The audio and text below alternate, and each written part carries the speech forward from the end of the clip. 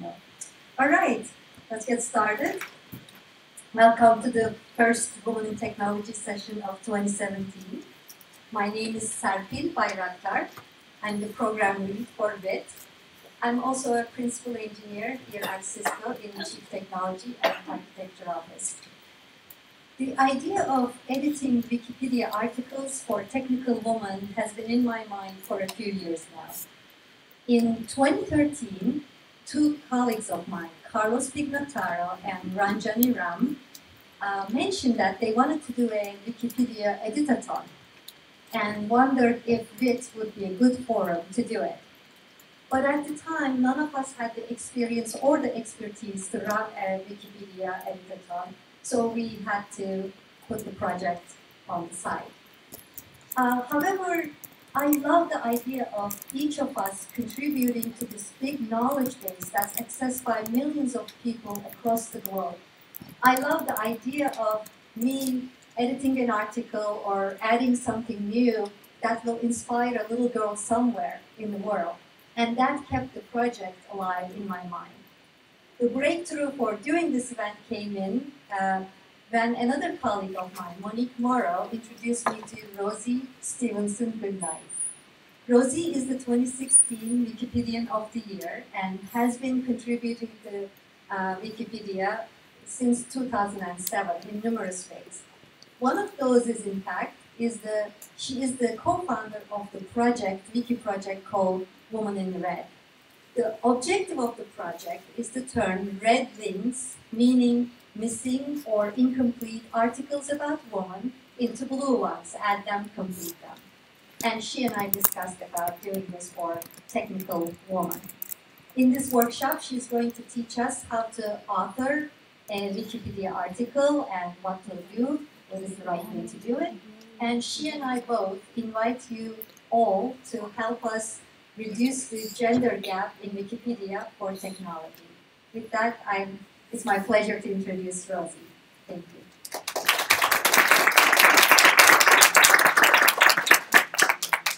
Serpil, thank you so very much, not just for introducing me, but for having Wikipedia here at Cisco. I'd like to make one other introduction, James Hare, who is joining me with what we're going to do today, which is going to be a brief presentation about uh, Wikipedia and how to edit Wikipedia, and then we're going to do some hands-on work actually improve articles and create an article. Okay, sounds like fun? All right, so let's see, how close are we to being ready to go? Pretty close.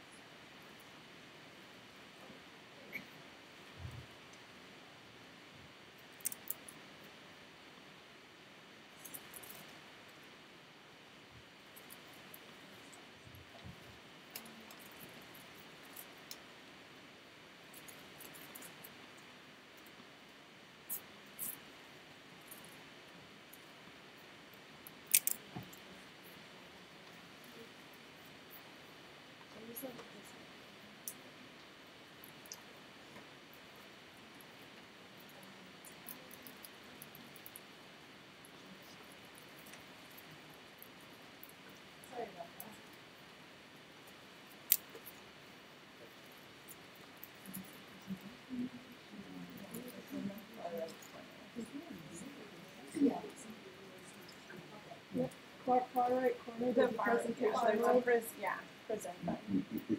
Oh, this one.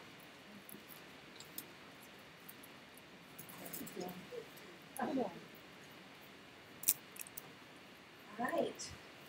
I think we're set. Can everyone hear me? Yes. Okay. If you have a laptop and you want to go to the Wikipedia meetup page for this event, here's the URL. I think this was also sent to you in the invitations that you received, maybe via email, but in case in case you didn't have access to it previously, um, I'll wait a moment here while you go ahead and type this into your browser.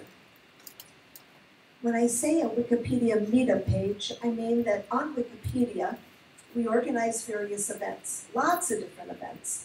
And so here you can see that this event is um, showing up as being under the city of San Jose, the event Cisco, and I chose to name it with January I can't see 2017, her. thinking that in the it a little future, in bit so I see her? 2017, maybe we'll do some additional events here, another event on. How are we, it looks like we've got people typing, good. Okay, are we there yet? I see one thumbs up. Two. More. Okay, let's go. What are we doing here? Well, imagine a world in which every single person on the planet is given free access to the sum of all human knowledge. That's what we're doing. Nothing less. this is a picture of Jimmy Wales, the co-founder of. Let's start by talking about Wikipedia and gender. So, 1957, a gentleman by the name of Mr. Rodriguez um, created a, um, a, a dictionary or an encyclopedia, if you will, um, for Venezuela. And I have that book, and I went through it and started counting to see how many of the biographies in that book were about women.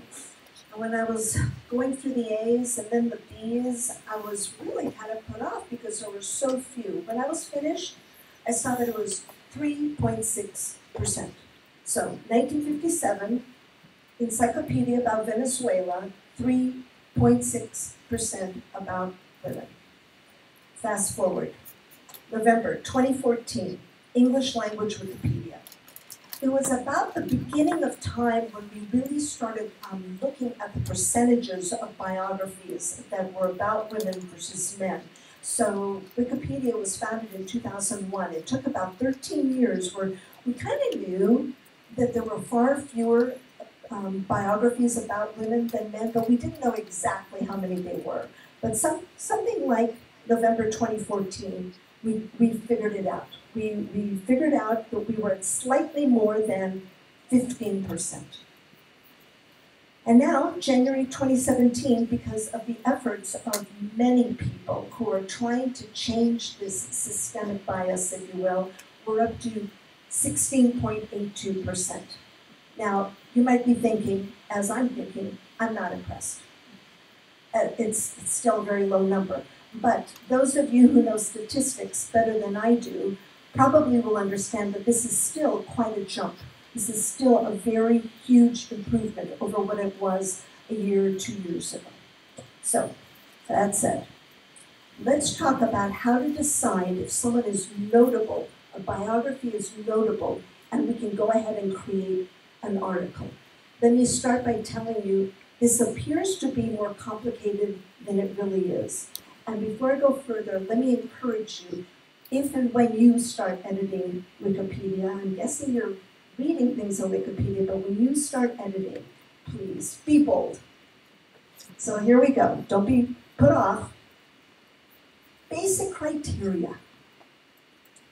You can see the yellow highlights tell you things like we use secondary sources. So what do I mean by that? We're not going to use some we're not going to refer to someone's LinkedIn or Facebook. We're going to look at secondary sources. We're going to look at the depth of coverage about the person. We might use primary sources, for example, if someone has a um, official website, but if the information on the official website is also found in a secondary source, we're going to cite the secondary source versus the primary. If someone is notable for a single event, something that just happened once, they probably aren't going to be considered notable. However, if they won a significant award or honor, like they are one of the women in uh, international women in technology laureates, that would be sufficient. If there's an enduring historical record about that person, that would be sufficient. I mention academics here next because academics, it, it, there might be some overlap between women in technology and women academics. And so you can see things here I highlight. Use independent, reliable sources. If there's an academic award or honor, if they're a fellow of the IEEE, if they're the chief editor of a journal that is um, of significant, uh, significant enough importance, yes, then they are probably considered notable. But it's one thing to be notable and not have the reliable sources to back that. Let me use an example. 500 years ago, there were a lot of male politicians.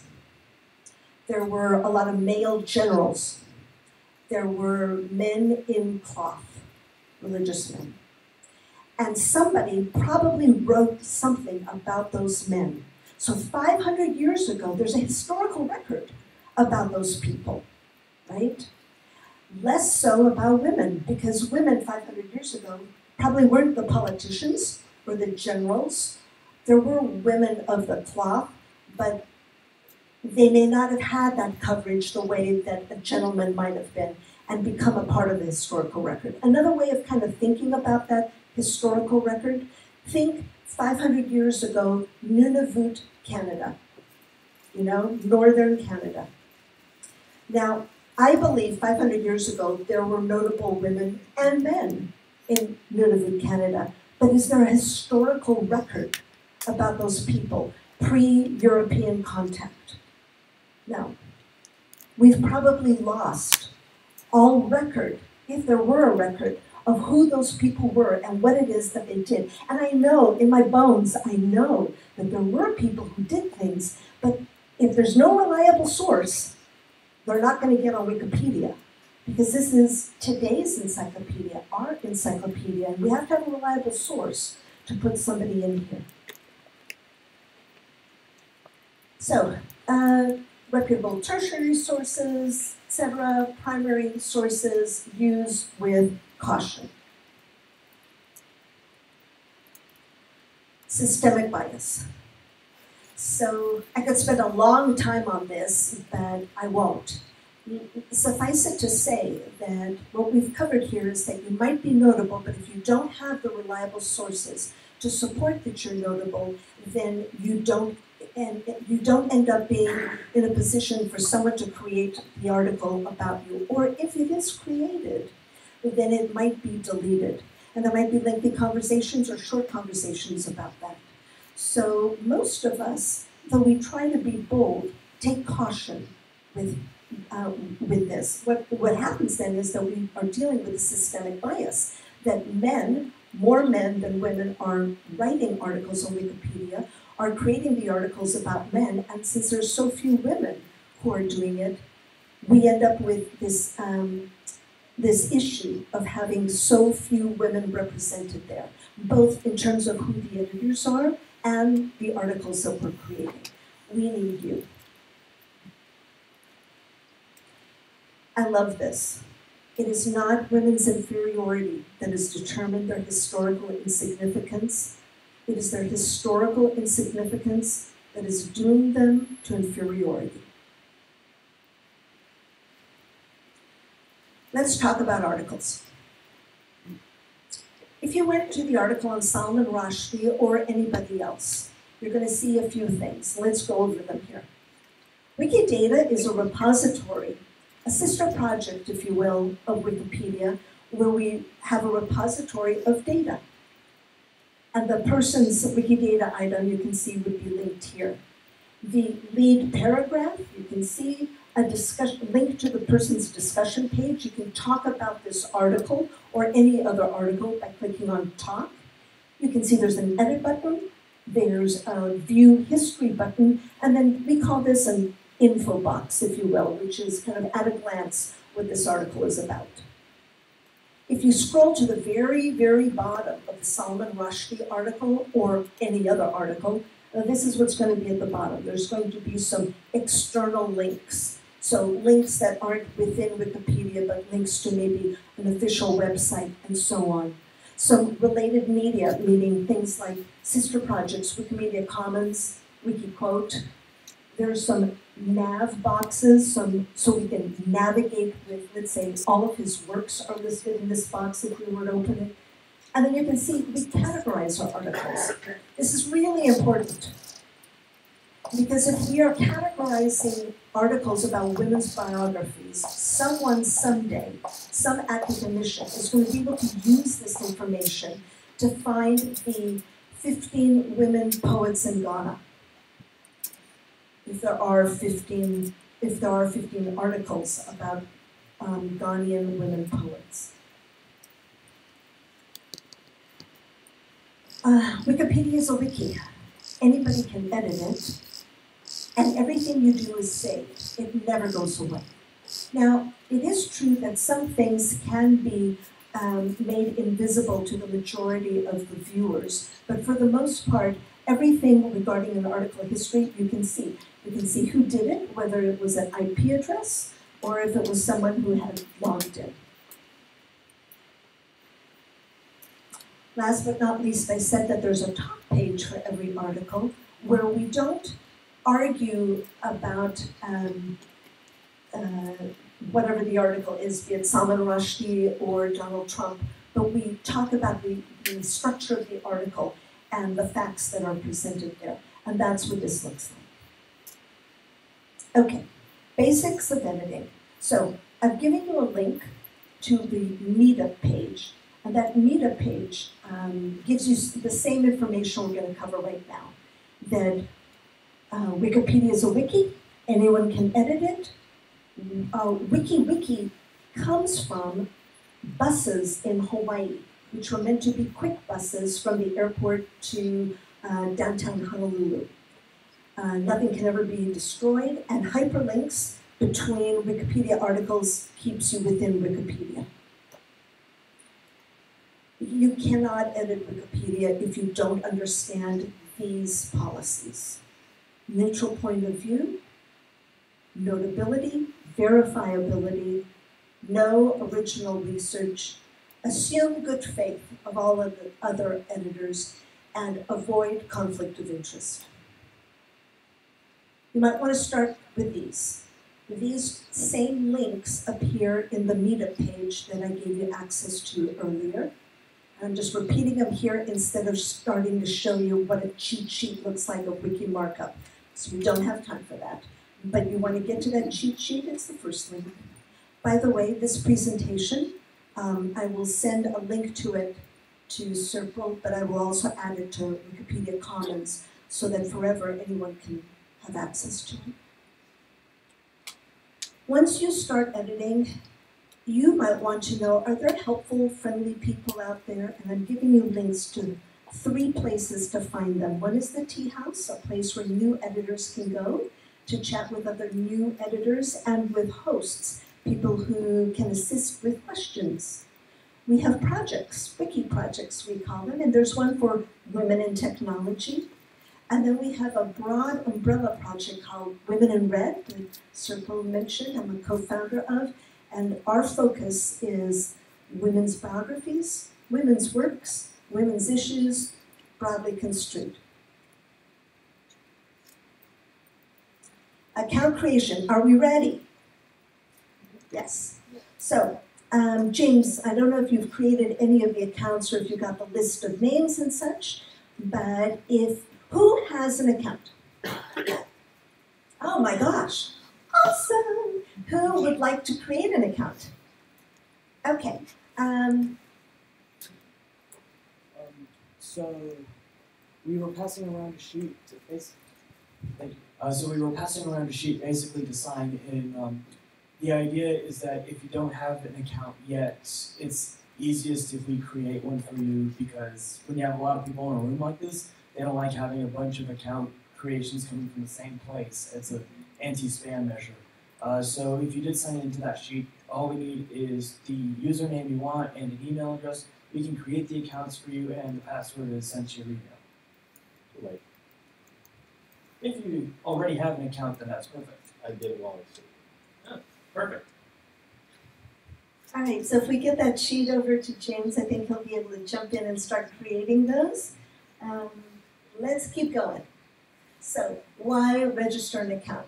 First of all, individuals only. You're not going to create an account in the name of Cisco or the San Diego Public Library. Uh, no institutional accounts, no share. The advantage is you become a member of the community. Um, we can talk to you versus if you're an IP address, and you can have um, access to uh, developing preferences and what type of privacy measures you might want. Somebody asked me uh, in the last half hour, uh, when I create an account, should I create an, if I'm a woman, should I create an account where I, first of all, indicate that I am a woman, maybe by the name that I use, or should I even use my real name, or should I use a name that um, doesn't distinguish me one way or another as being a woman? Let's say something like user laptop. So uh, this is what I want to say about that. Um, when I first created an account on Wikipedia, I used my full name, Rosie Stephenson. And four, five, six months in, I Googled myself one day. You know, we all do that sometimes. And all the talk page posts that I had had on different project pages, they all showed up. And I felt extremely exposed to the world. And so I asked to have my um, account renamed. And you can do that on Wikipedia. And so I renamed it to, I dropped the last six letters of my surname. Stephenson is spelled S T E P H E N S O N. So my username is Rosie Step. So just Rosie and then the first four letters of the surname. So now when I Google Rosie Stephenson-Goodknight, you know, Rosie Step doesn't show up there and I feel a little better. But I have self identified in a way as being a woman. I will say that I have a user page, and there I, I say my full name, I say the city where I live, and other things about me. But am I influencing you to do the same? No. Each of you needs to give this some thought and decide what is best for you. Do you want to use something like Mop Top? Or do you want to use your full name, part of your name, or something else? Have I ever been harassed on Wikipedia? So short answer is zero. Never. Not once. But I cannot say that every woman has had the same experience. Having said that, it's up to you, as I said, make a decision and you can always change it down road. Once you've created your account, I want you to be aware of something called conflict of interest. And this means on your user page, you may want to self disclose that you work for, for Cisco. If you're going to edit articles that have something to do with maybe the technology world, and that you have not edited the article about Cisco. No conflict of interest then. However, if you do not want to edit anything to do with women in technology or Cisco in particular, you don't have to expose yourself and say that you work for Cisco. It's only if you start, uh, if you do something that's in that field, but I will caution you, you yourself should not do that. You should not edit an article about someone um, who works at Cisco or about Cisco or any of its subsidiaries. Okay? We're done with the presentation, folks. Are we ready to get started here? Are we ready to start editing? Or do we want to ask questions, or do we have questions that have come in? How can you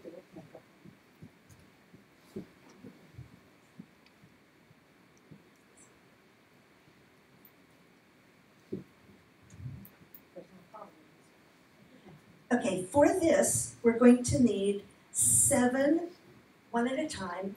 We're gonna need seven volunteers who want to edit Wikipedia. And I'm gonna ask James to come up here and I'll walk around with this and talk it through. James will be helping the person and the person's gonna be using my Mac. We have seven examples ready to go with simple tasks. And you won't be by yourself, you're gonna be with a very experienced editor, the Secretary of the Wikimedia District of Columbia. So do I have a volunteer from the group? Rosie, do you mind if we have that question real quick? Would you? Okay, real quick, so two things, uh, I already changed, uh, made my username, I put my name in there. So if you could tell us how we can change that. And secondly, you mentioned secondary sources, what are those secondary sources that you link to or mention that vanish, you know, that I'm sure that happens sometimes? Uh, like link rot? I don't know, Rob, but like maybe that website's not up anymore, so, you know, just the authenticity of the. So, good questions. First of all, you can't by yourself change your username. You will have to put in a request and someone with certain rights and privileges will have to make that change for you. So we won't be able to deal with the change today. Um, and as far as uh, the art, the you link to something that then becomes a 404, though I think the 404 is going to go away. Um, the Internet Archive is working on that along with Wikipedia. We're looking to store those what I'll call external links, those citations, so that you will not in the future encounter that problem on Wikipedia. Once it's been linked, and if it was a good link at one time, it will forever be there. We're not quite there yet, but that's where we're going through the Internet Archive, through our relationship with the Internet Archive and the Wayback Machine. Is do you want to add anything to that? Because I think you're, you, I think you may have been working with them. Um, I don't have anything to add uh, with with uh, specific regard to that. That's uh, correct. Uh, in the future, I'd like to have it so that links will be archived within one minute of the page being saved, but that's a ways away at this point. Um, also, that sheet uh, with people who wanted to create accounts. Where is that sheet? Is it outside? All right, do we have someone who is ready to go and wants to be our first um, volunteer? And by the way, when I say volunteer, we're all volunteers. We're, we're not paid to do what we're doing. We, we came here on our own, our time isn't paid for, our transportation isn't paid for. Wikipedians are all volunteers. We, give of ourselves because this is what we want to do. All right, so I'm looking for a volunteer. Come on. Somebody. Perfect. All right. The first article we're going to work on is Susanne Albers. We're going to expand the lead paragraph. So let me get out of the way.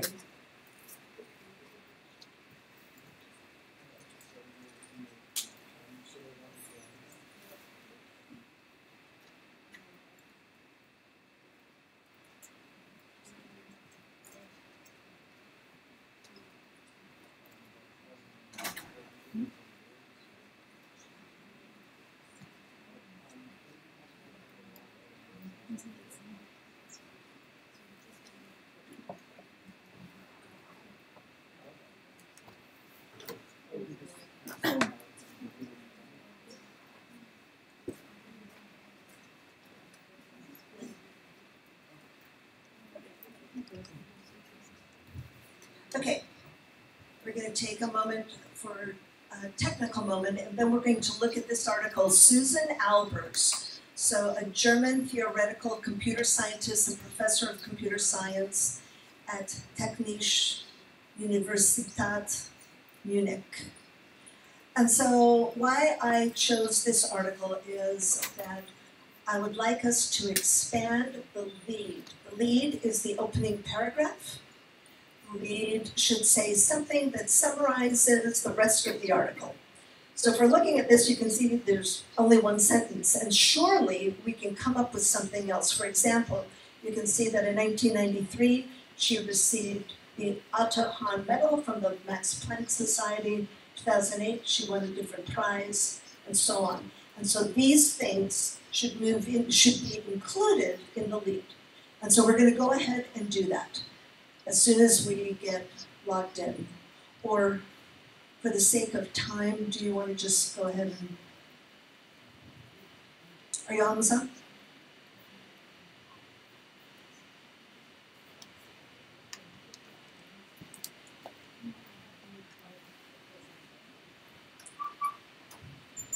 So we're just gonna swap out the screens for a second here, so that. One second.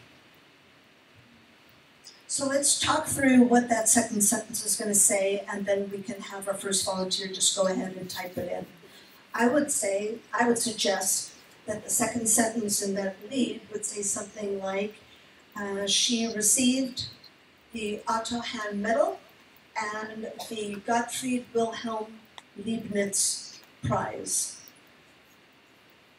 She, or she is a recipient of the Otto Hahn Medal and the Gottfried Wilhelm Leibniz Prize. So you can see while I'm thinking out loud and the first thing I said, if I had typed the first thing that I said and hit save, I would then just go in and change it again and hit save again. So no problem if the first thing you do isn't exactly what you want.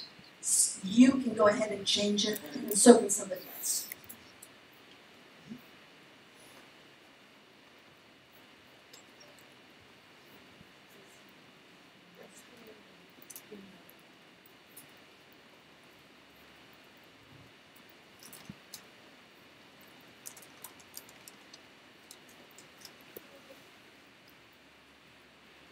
talk about, uh, about like doing editor where like one will go in and change one thing, and one will So, go in.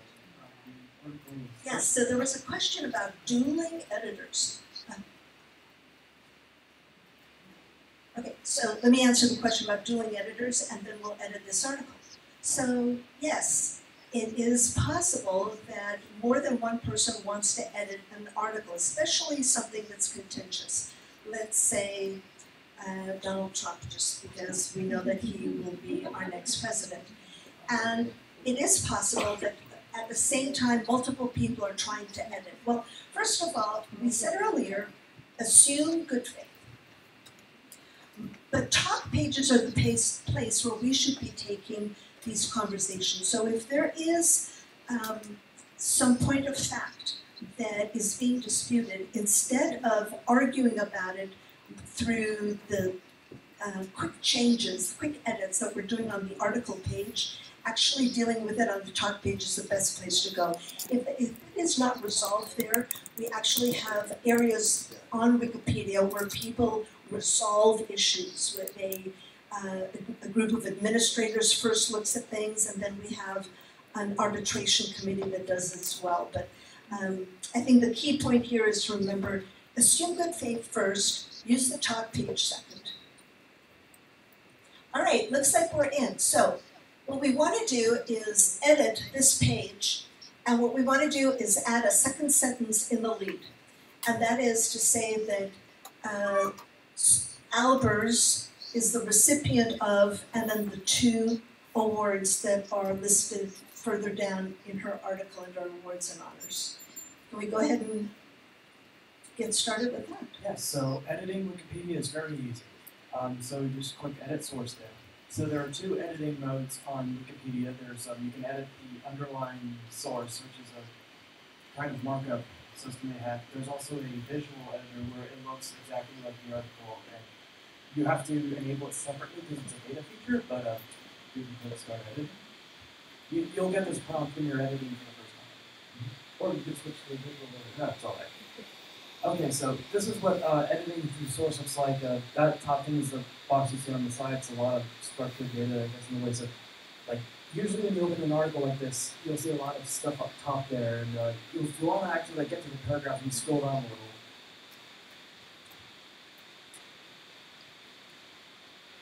And there is the first.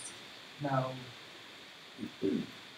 now our goal at the moment is to add a second sentence to that introduction because usually the lead section is supposed to summarize the article. So If you say something in the lead that's already in the rest of the article, you don't have to like dig up sources or anything like that. It's just a summary of what's already written, already attributed to a source.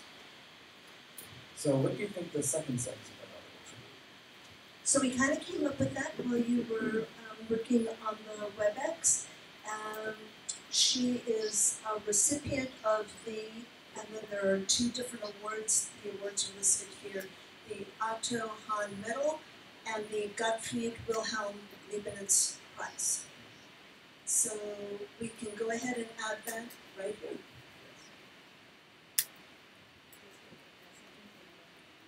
Let- Let's just type she is a recipient of. Uh, let's see, no, we need to be, can we get her up here, James? Um, she's, I think typing here, but we want her up here.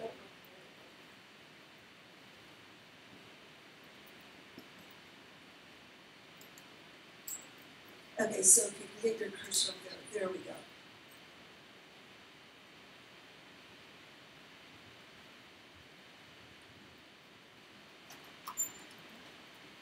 of the Otto Hahn Medal and the Gottfried Wilhelm Leibniz Prize.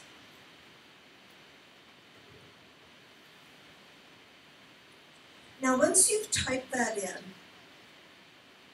before you click save, you want to put a note in the edit summary.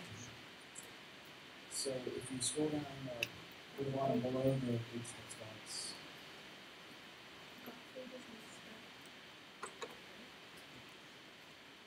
um,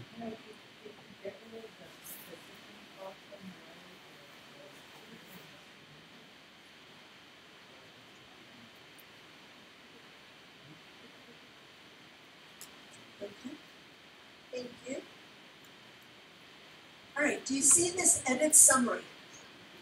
In here, we're going to summarize the um, change that was made. Um, you can be as brief as you like, um, using the word expand lead, or two words, uh, is sufficient. Expand lead, and then and then you can click save changes. click Save Changes. There you go. And when you're adding it, sometimes it does this, um, particularly if you have a new account, uh, they want to make sure they're a real person, not a spammer.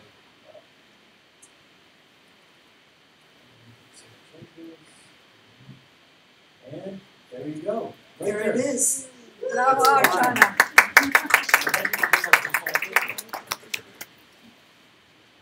All right. Volunteer number two.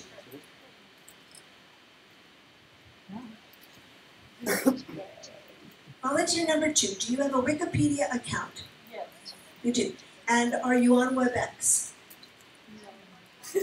We'll get our own WebEx. we are an expert on WebEx. Is it in the meeting? I'm not. A question. Judy,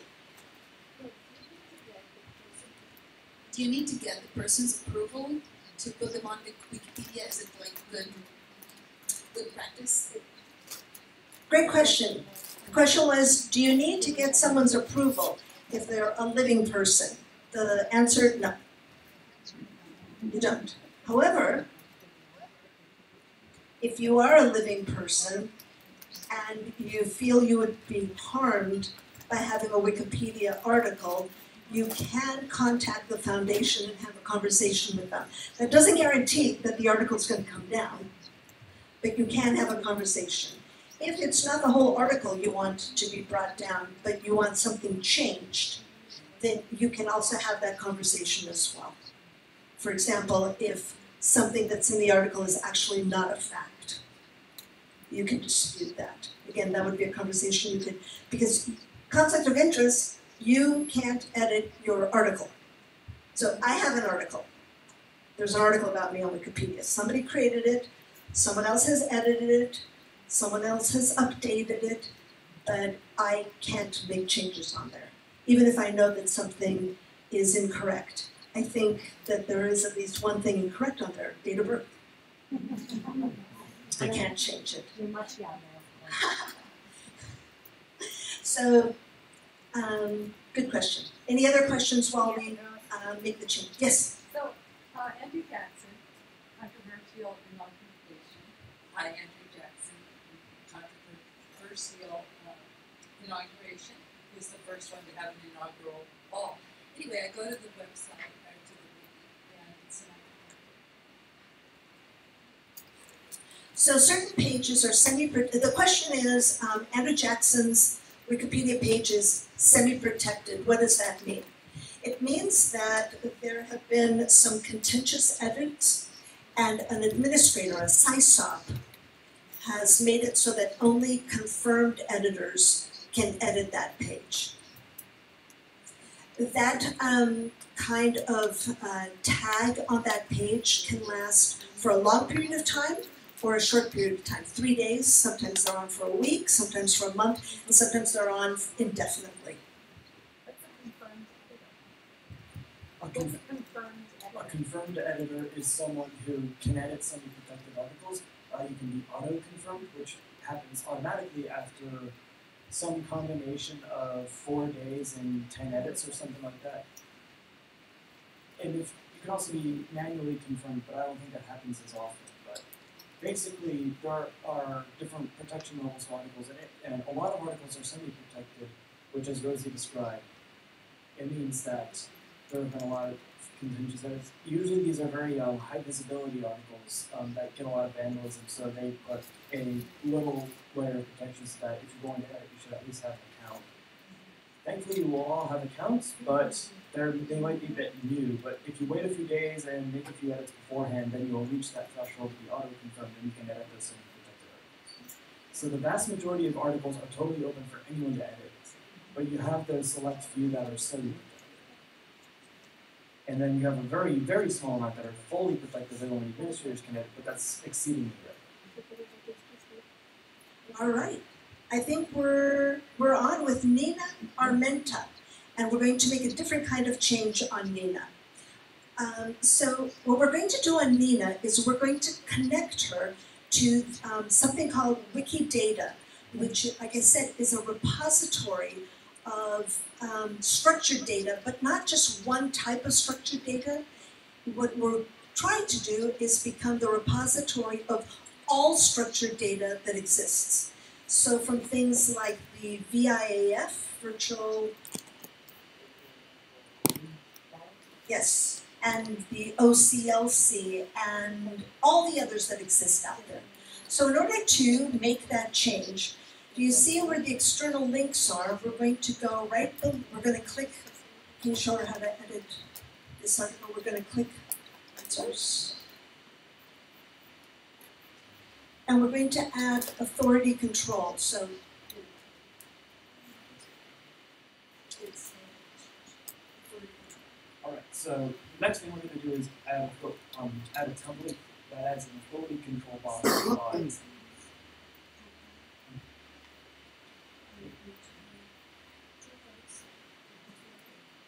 So Wikipedia is a very fancy templating system where basically you create little templates and you can embed them in articles, and that way a lot of formatting is centralized. You don't have to reinvent it for every article. This gives Wikipedia a nice um, consistent appearance. Um, this thing is a, one of the many boxes we have at the bottom of articles for authority controls where, you know, different people all have the same name, you have one authority, you have a standardized number for them, and this adds a box to the bottom of that article that includes all of those numbers and letters and such. And but because the information is on Wikidata, you don't actually have to add them yourself. They're already in Wikidata. So what she's doing right now is just adding um, the syntax for adding a, a template is a curly brace, curly brace, of the template, curly brace, curly brace. Sometimes you have parameters, but in this case you don't need it. You just need to say, give me the authority control box, and that's all it is. And um, so you add that, you click, uh, you add your edit summary saying that you're adding the authority control box, and you save, and this again. Yeah, it goes away after you've made a few edits. Um, it also comes up a lot if you're adding links to an article. because Wikipedia, like any other website, has to deal with spam, so it has some mechanisms to deal with that. But it's just annoying because you get to the excitement of saving a page and oh, the CAPTCHA showed up.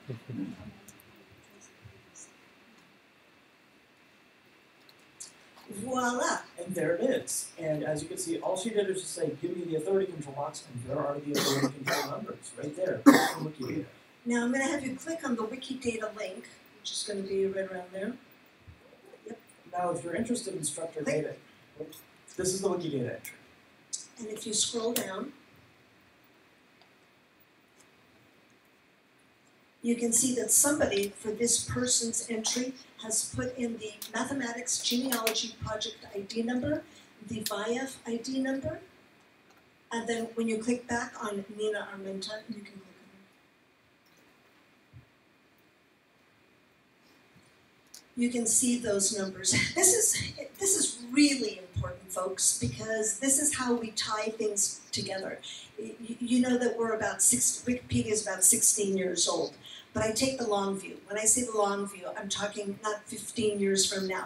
I'm talking 50 years, 150, 500 years from now. This is what's going to connect um, the different articles, and so that's why we do this. So thank you, Favia, for, for being our second volunteer. Do I have a third volunteer? Ah, a question. So, uh, what if this, what if the, uh, what if there's like nothing listed in Wikidata item, uh, we just be blank for that? And if anybody adds in the future, it'll just add. And uh, if you're interested in structured data in general, Wikidata has an open API that you can just pull information from it whenever you want. You don't even need a key or anything. You just take, you all the information. You can edit it too, just like Wikipedia. It's really a wonderful thing if you're into structured data. Do we have a third volunteer? We do, right here. And uh, can we have the assistance with WebEx?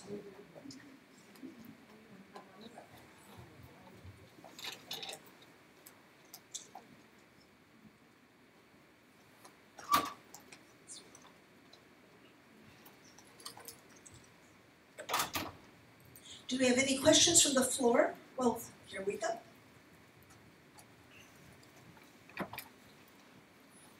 Good question. You said that uh, if I have a Wikipedia page for myself, somebody added a Wikipedia page, I cannot go and edit it. But how is that controlled? Like I can create a user account with everybody. How is it controlled that I can go to the Excellent question. So if you can create an account with any kind of funky name, how will anybody know that you created the user page about yourself or that you edited it down the road? Well, I guess the short answer is no. People won't know. Um, but we ask this of you. We ask you to abide by these policies. So best practice, don't do it. And also, just on a practical level, people usually aren't good at concealing it. Like, people will write such effusive marketing type language, and we're like, this person is probably themselves or someone very closely connected to them. So,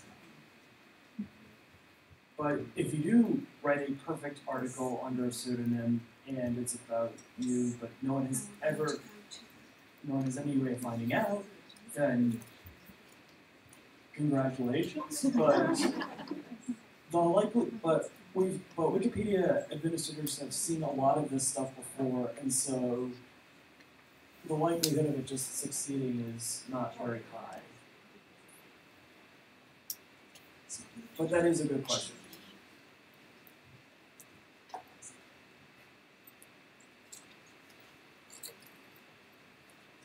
Okay, Jillian Arnold. So let's go ahead and fix a typo. Do you see the typo in the first sentence?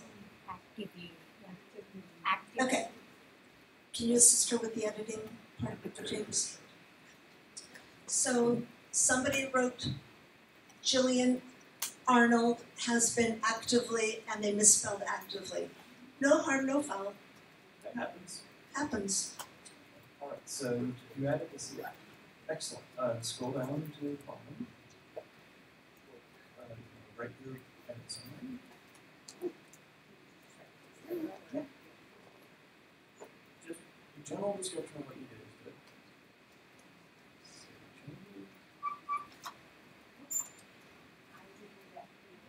Congratulations. and there it is. The, the typo has been fixed. You have saved Wikipedia. Thank you. All right, in the interest of time, I don't think we'll do any more of the small edits. We're gonna create an article. We're gonna create an article about a Cisco woman. Her name, Susie Wee. Does anyone know Susie Wee? All right, if you can put me back on the WebEx.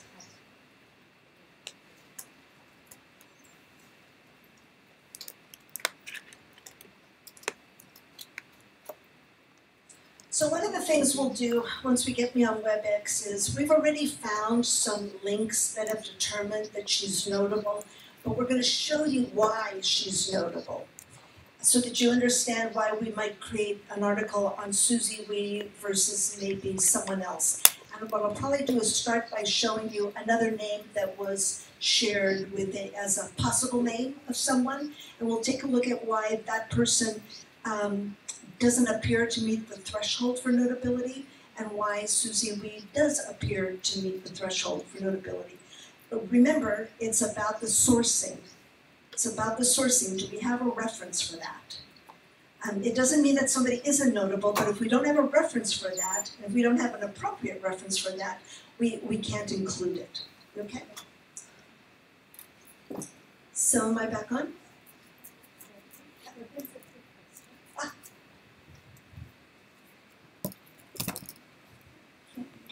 Can anyone create an article also, not just edit, or do you need extra privileges to create? The question, do we need extra privileges to create an article? Nope. You can, your mom can, your daughter can, your cousin, your friend. You don't feel like doing it, no worries. Talk about it to someone who might then be influenced and they'll do it. One more question. Can you create an article for somebody international, like You can create an article regarding anybody, born in 1850, born today, as long as there are reliable sources to support the notability of that person. All right. you're on WebEx? Okay, sorry. I am going to set this down while I use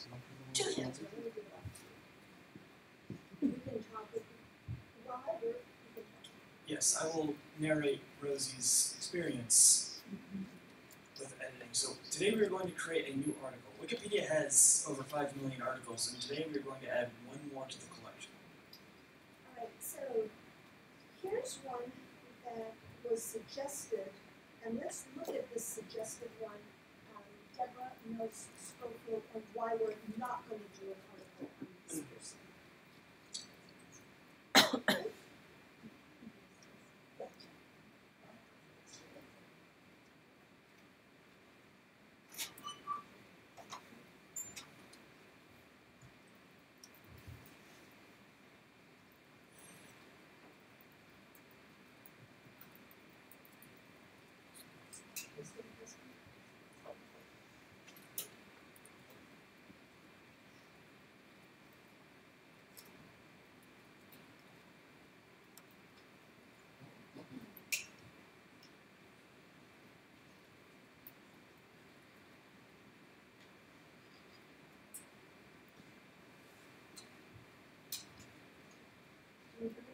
Testing, testing. Testing, yeah, you can hear me.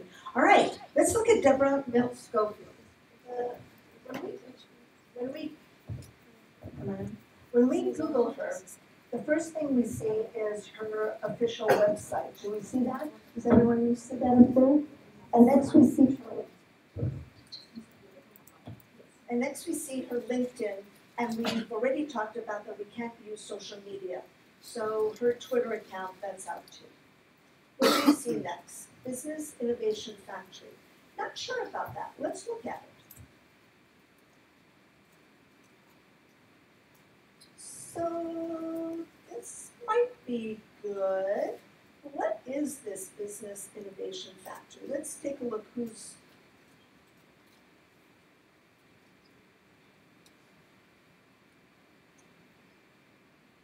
I'm not sure that I can figure out easily who is behind this, but I can tell you that if they're having a um, a conference coming up in 2017, this is probably a good website. We could probably use this.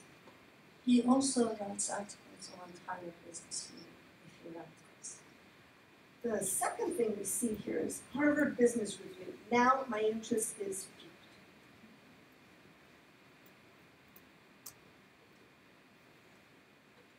Let's see what we see here. Do we have information about her or do we have her um, article?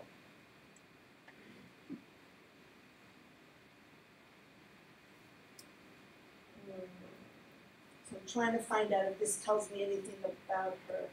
Not easily. Maybe I'd have to hunt and search. Looking for low hanging fruit. How about um, innovation excellence?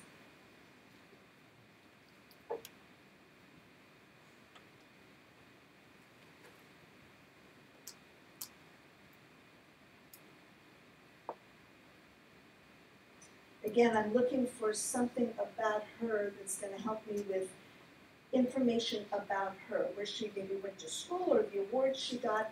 And looking here, I'm not, at least quickly, I'm not finding it. Instead, I'm finding articles that she might have contributed here, author archives, if you will, if you see that. So let's go to somebody else. So it's more important to have what it's about than how it is. Exactly. So, um, beyond the specific requests, you can see that that's kind of at the top of this screen. I posted here the laureates of the Women in Technology International Hall of Fame. By virtue of being a laureate of this organization, the person is considered notable. And within this group of, of laureates, I, I checked, well, is there a Cisco woman in this group? And yes, there was.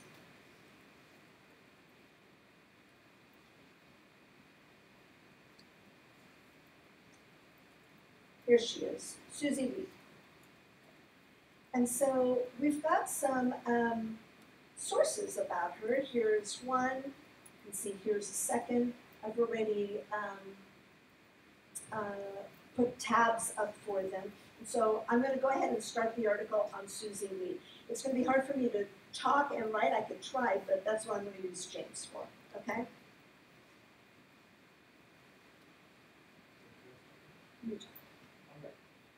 All right, so Rosie is getting to work uh, starting this article here, and uh, she has tabs open with the sources. And the sources are important as we said earlier, you need sources to demonstrate that the person is notable, and also the information needs to come from already published sources. And uh, so she, so writing an article on particularly the source editor is just a matter of opening up the page, seeing whether it exists. If it doesn't exist, you just click create, and you get. You know, earlier we saw articles with boxes already filled in. This is a blank slate.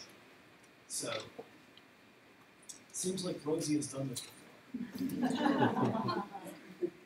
Yeah, so um, what she's doing right now, is she's just adding the basics.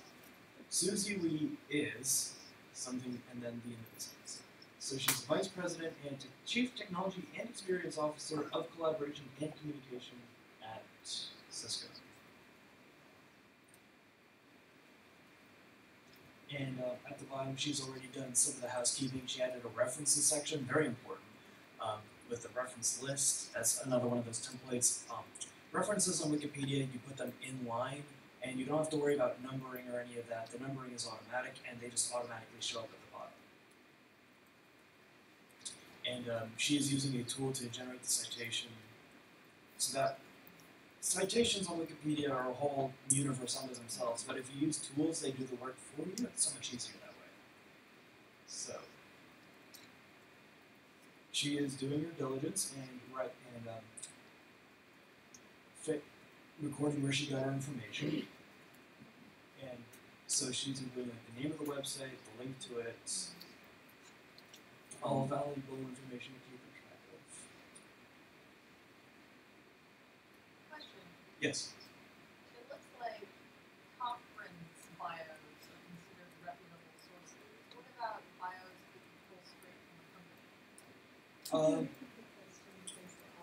I think the, the question is uh, whether um, bio- conference biographies and biographies from the website are reliable sources from the company, right? Uh, from their employer? Um, I wouldn't necessarily use them to establish notability, because the idea of notability is that you are mentioned that you, there are sources about you from third-party sources, as in someone you don't have an immediate connection to. Like, if multiple publications I had no connection to wrote about me for whatever reason, then that might establish my notability. But if my employer wrote about me, well, big deal, it's my employer. Like, of course, they're gonna write something. But can you use it as a source of information? Maybe, depends on what kind of information. But I wouldn't use that to establish notability. And conference bios, I guess, depends on the conference really. I'm ready. I'm gonna click, here's show preview. Susie Wee is an American technology expert. She is the Vice President, Chief Technology, oops, Chief Technology and Experience Officer of Collaboration and Communication, quite a title, at Cisco Systems. You can see I've got a reference for, for that from an organization that is of repute. And so let's save it. Yes, and when creating an article, sometimes all, all you really need is one sentence. Question on that. Uh, the article you're referencing is from two thousand twelve. How do you know, or do you need to confirm that that is still the position within Cisco Systems? Pretty to the top. Yes, you should. Okay. And so it, I can tell you by the end of today or by the end of the weekend, there will probably be others who have jumped in here and have corrected the title if they have a reference for that. And we might have a reference for that. But according to this, at least in 2012, so why don't we use that point and um, clarify? In this is from 2012, so how about in 2012 she was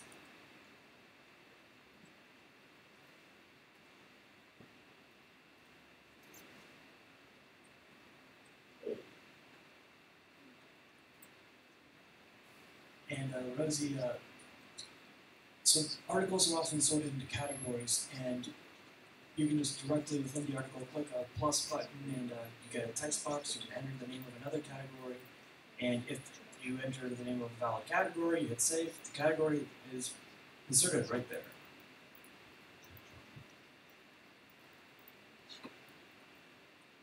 So I'm going to expand the article.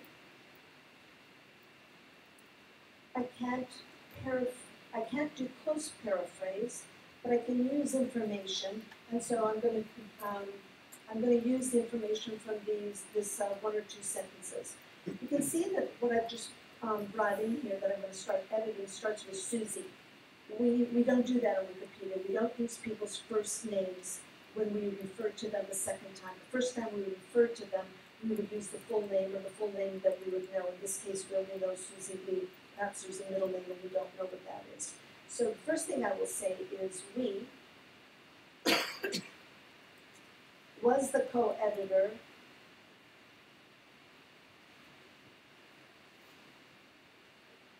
of the JP Standard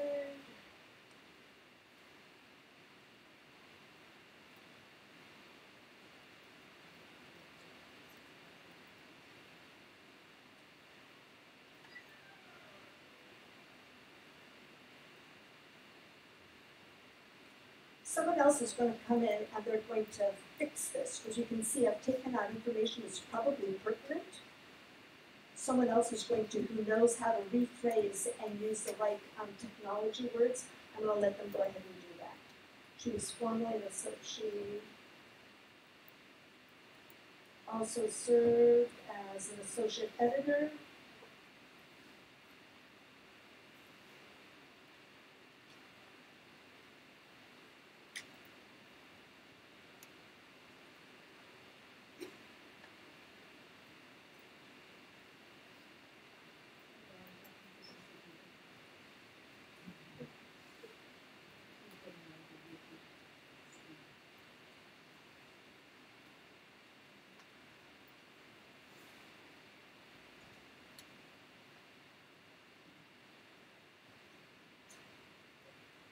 Okay, folks, I'm gonna rely on you and your friends today, tomorrow, Saturday, Sunday. You need you to go in here and improve this article. Let's use another reference. So it looks like Susie Wee was one of the innovators under 35 in 2002 um, under the MIT Technology Review. So something like I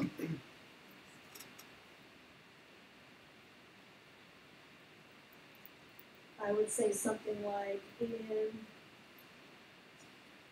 2002, Wee became a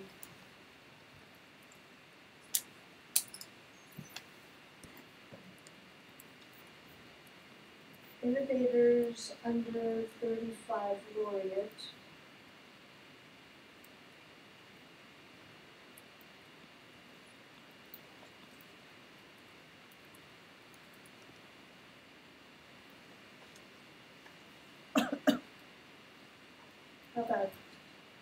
MIT? MIT Technology Review. named Wee as an innovator under 35 laureate.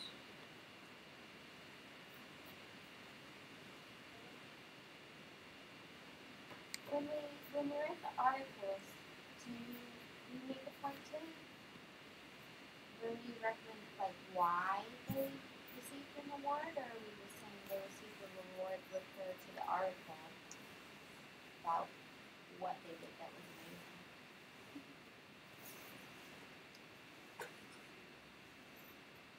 Uh, the question is, um, when writing about the fact that she received the award, do you just say that she received the award and then point to the website, or do you say why she received the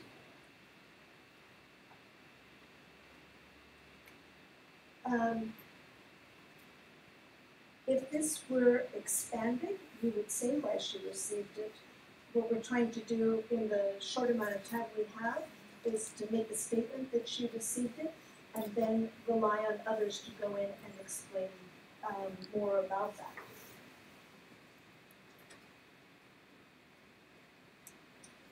So MIT Technology Review, is there an art- article about that? I've just put wiki markup around it. Let's see. Yes, there is. Yes, it's, it's good when writing Wikipedia articles to link to other articles because that's how you build out this web of information. And if you add links around the article and the article doesn't exist, then you get a red link.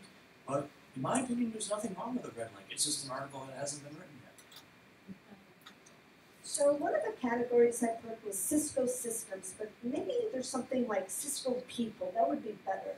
And look, lo and behold, there is. There's a category called Cisco people. And we're going to change the category that we have for Ms. Wee.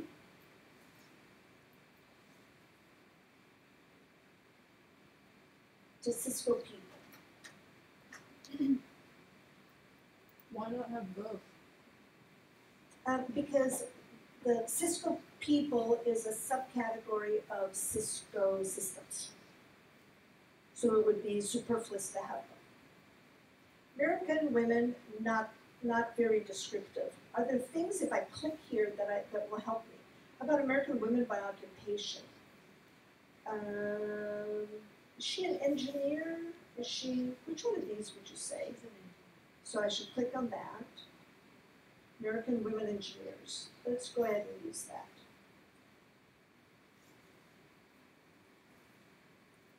And let's change American Women to be American Women Engineers. Now, I think I saw something about uh, education in one of these articles. Yep. Let's add that.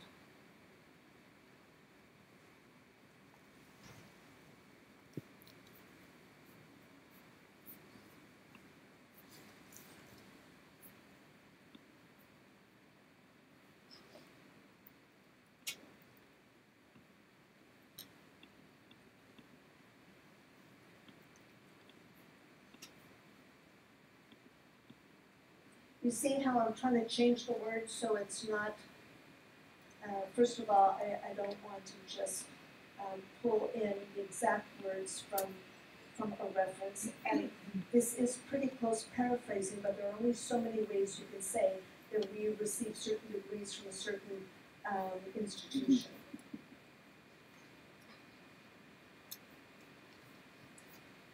You will get better and better at this the more you do this. But think back to your college days when you were writing midterm papers. So where did I get this from? It was from one of these references. I think the IEEE. Click like this, insert, and there's a, you can see that this will link to that reference also. When I scroll down, expanding article, actually, how about if I do this? Education. Show preview.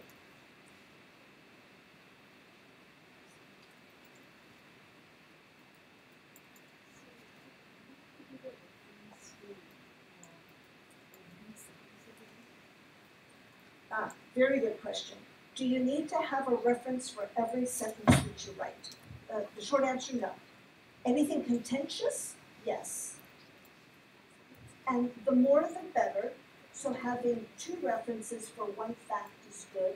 But at the very least, every paragraph needs to have a link to a reliable source. So if you have written a paragraph of, let's say, five sentences, and you have one reference, that's all you've planted there. But if I were to go and click on that reference, and there is information in the paragraph, let's say about Jane Doe's education, and there's nothing in that reference that I've just read about education, I'm going to wonder, how did that stuff get in there? I will wonder, did you find it on another site, website or in a book, or did you make it up yourself? So it's best everything that needs to be cited, just cite it. Cite more rather than cite less. All right, now that I've added that, I will add some more categories, at least one. Um,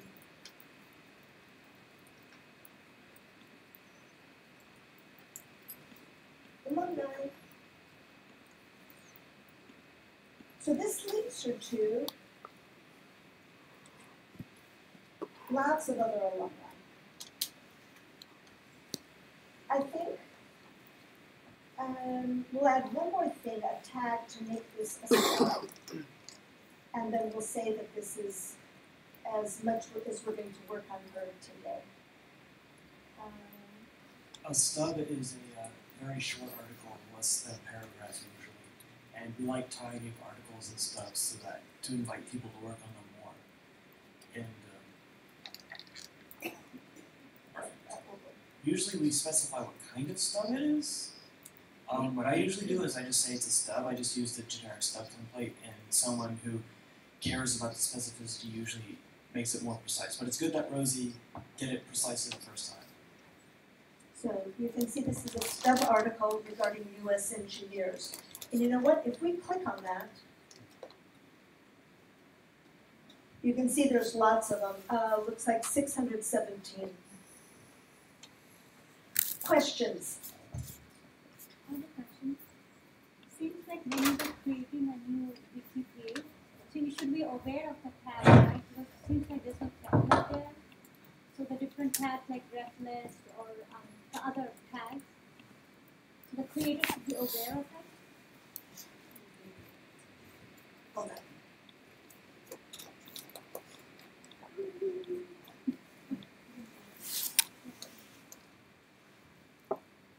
So when a new wiki page was being created, so seems like there is no template for it.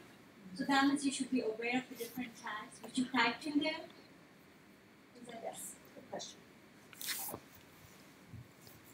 So when you start from scratch, there aren't any templates. How do you know basically what you're doing? Um, so let me tell you what I did. I looked at an article on something that was similar. My first article was about Book League of America. So let me tell you about that. I didn't start by thinking I'm going to write an article about Book League of America. I was one day just Googling stuff, and I collect books by this publisher called Book League of America. And when I Googled it, there was no Wikipedia article. And I thought, you know what? Must have been a typo on my part because everything's in Wikipedia. This was 2007. No, there was no Wikipedia article about it. And so I thought, you know, my son had been in the Peace Corps, and he had showed me how he had edited the Wikipedia article about the city that he was in when he was stationed in Ukraine. And I thought, you know what? If my son Sean could figure out how to edit Wikipedia, I bet I can too. And so to create this article about Book League of America, I knew it was a publisher. I looked at another article about another publisher. And I just used everything I saw to create the article that I created. So let me show you.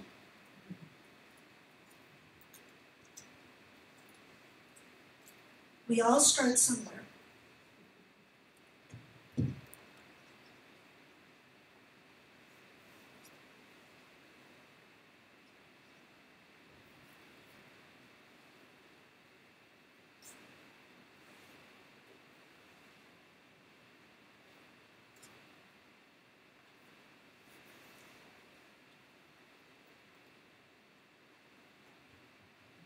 Three forty-three in the afternoon, June fourth, two thousand seven.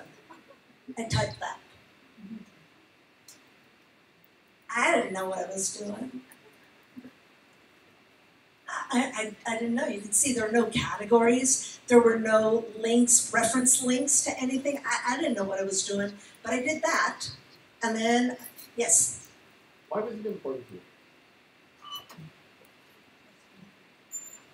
At that particular moment when I did this, I just thought, well, I'm going to see if I can do it. Oh, oh, not not the computer. Why was the book club of the Book League of America? It, ah, why was Book League of America notable? It was a um, publisher of some renown in its day. And the article on it today looks like looks like that. There's this stuff about it. So, you know, it, it, it was of some renown at some point. Historically, it was important. And so there was no article, now there is an article about it. But uh, just what I want to say with that is you don't have to have a template to work off of. If you're going to write a biography, and that's what we've been talking about, find another biography of somebody who is somehow similar and just use that as a basis for starting. You only need one sentence to say that the person was notable as long as you have that reference at the end of the sentence. The rest of it, the markup and such, you'll learn as you go along. You know, we, you know, you'll learn. It's not. It's really. I never took physics. Now I'm. I'm probably. I'm. Yeah. I'm the oldest person in this room. I never took physics. I'm not a woman in technology in the way you would think of someone who might work at Cisco, but it's it's something we can learn how to do, and I'll learn how to edit Wikipedia. We had a question right here. Yeah.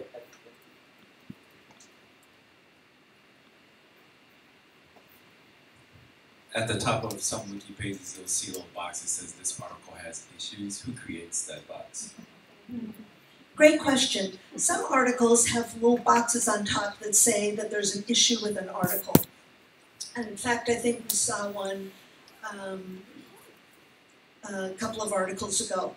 And so, first of all, who creates those templates? Um, you do, we do, I do, everybody does, anybody does.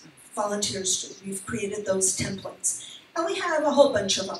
I don't know, let's say we have 30, maybe we have more than 30, and they can say that it needs more citations, that something is disputed, that maybe Article A should be merged with Article B.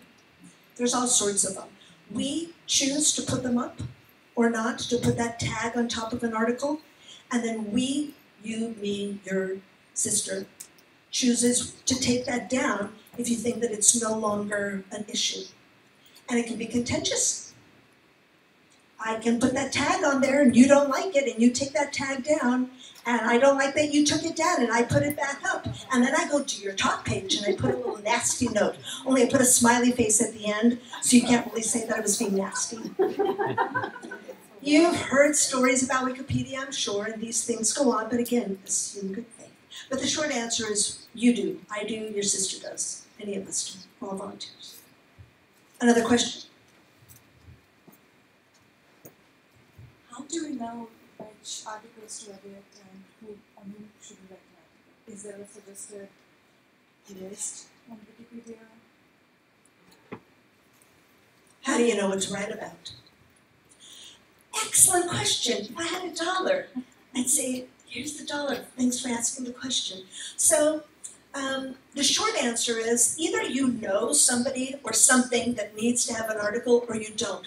But there are groups of us who try to compile these red lists of missing articles. You can see that, you know, we've kind of linked on this, clicked on this before. Glasses.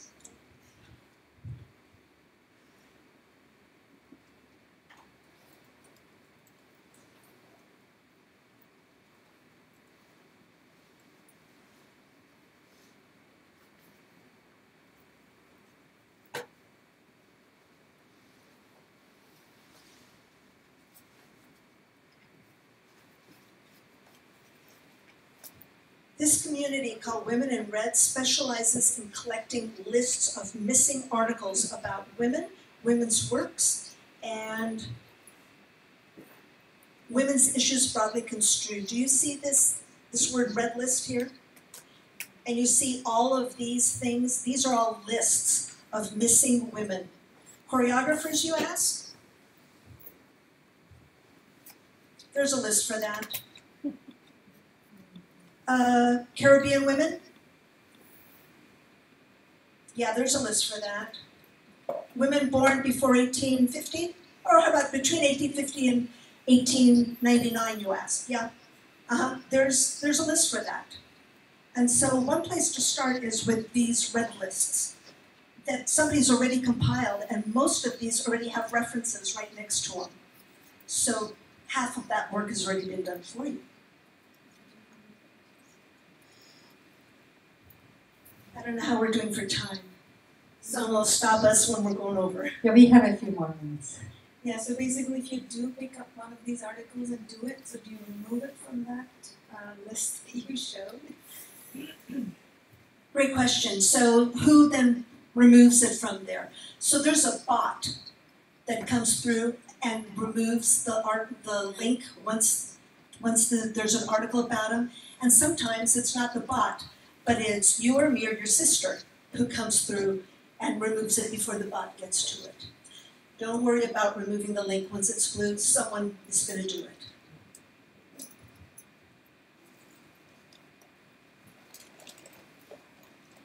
What about determining notability for things that are like objects, you know, like books, games, etc.? Same thing, there are various kinds of rules associated with different things, for example, geography.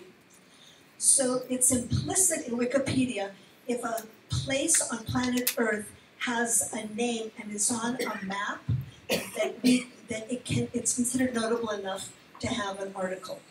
But regarding like not geography but actual things, um, there can be discussion about that. For example, all Simpson um, episodes, all Simpson episodes have, almost all Simpson episodes have an article. Many of them do. uh, sometimes, sometimes there's sometimes people decide that all all episodes of a TV show are articles. Sometimes they decide only some of them are. We used to have articles on every Pokemon. That was a thing a while ago, but they decided no, that's too much, and they consolidated a lot of them. But only the particularly famous ones have their own articles, though. And so there's discussion. There's discussion in the community, and it becomes the smaller community. So not the overarching Wikipedia community, but it might be just like English Wikipedia, and it might be just people who are working in anime or working in some subsection who have a discussion on what is notable and what isn't. And they make the decisions and they change their mind five years later, 10 years later, 150 years from now, they might change their mind too. It's, it's open to discussion because we're all volunteers doing this. So right now I can say just find like a book that I think is notable and put it on there. Yeah, yes, if you have reliable sources, yes, you can. What are reliable sources? Well, we went over that, so secondary So sources, like a book reviews? book reviews.